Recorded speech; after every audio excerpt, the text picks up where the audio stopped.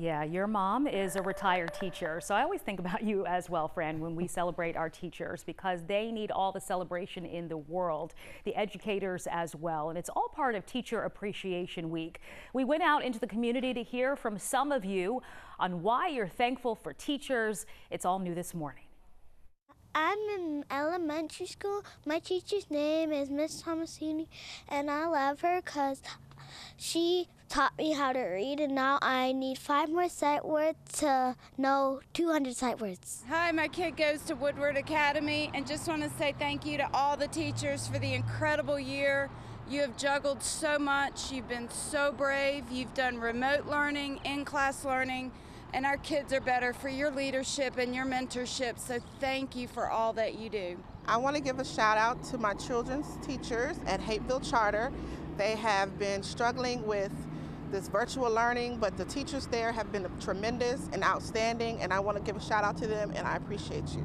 My teacher's name is Miss Lindsay, and I think she is kind and sweet, is because when when I have tests, she always tells me to come here, and she and she always helps me, and she always is really nice to me and kind. Like Happy Teachers Appreciation Week to Miss Sonia and Miss Drake at Academy of Union City. Y'all been so helpful with India for the whole year 2020, 2021. Thank you.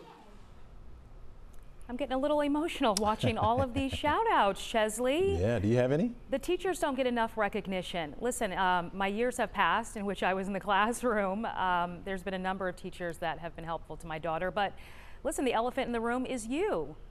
Me? You are a teacher, a professor, and I think you can speak to just how tough this past year has been for all teachers during the pandemic trying to teach the youth. I, I would say that uh, teachers really have passion. You know, they are passionate about their students, that kind of thing, and not being able to be with them or at least teach like the way they, they want to teach is certainly a burden.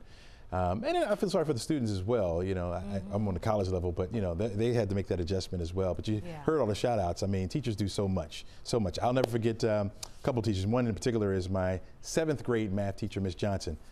Top notch, top notch. I mean, really cared for us all and made sure that we all passed. And I, I love that. Well, know, thank you, yeah. teachers. Thank mm-hmm. you, teachers. Absolutely. All right, how's our Friday forecast looking here? You know, it's looking pretty good. We